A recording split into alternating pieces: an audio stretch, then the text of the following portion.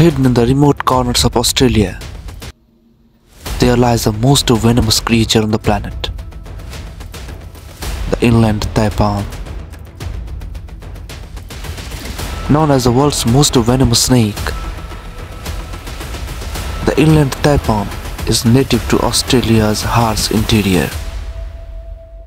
With its sleek body and earth-toned scales spread all over the body, inland taipan is habituated to Australian atmosphere. On the scale of popularity, it's little down to King Cobra and Black Mamba. But on the scale of lethality of venom, it tops the list. What gives it a unique position in the lethality of venom is simply the composition. The venom contains all kinds of toxins, which hijacks the system at the same time.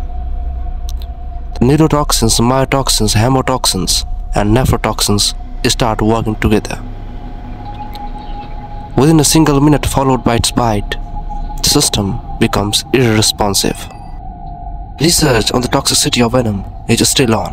Now they are finding other toxic enzymes that the venom of inland taipan contains. The symptoms followed by the bite may contain renal failure or neurological collapse. Also the muscles around just destroys.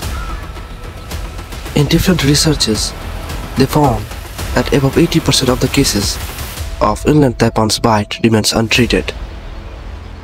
That means only 20% survive even when they are given antivenoms. Also, the rate of envenoming is above 80%. That's a serious concern. That simply means that the bite of inland taipan contains severe dangerousness and high lethality potential.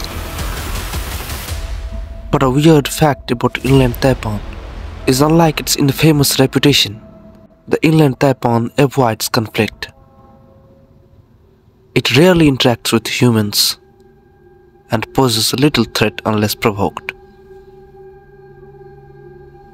So in a way, despite its deadly venom, the inland taipan is not an aggressive snake. Basically, it doesn't produce much danger to humans. But even after being the most venomous snake, it also faces some natural threats. Like Mulga snake of Australia, eats the young inland taipan. Basically, it's immune to the venom of inland taipan. Also, the monitor lizards thus destroys its eggs, which in a way is a big threat to the community of inland taipan. And taipan represents a better fragility of nature. Which snake, according to you, is better equipped than inland taipan? Let me know in the comment section. Thank you.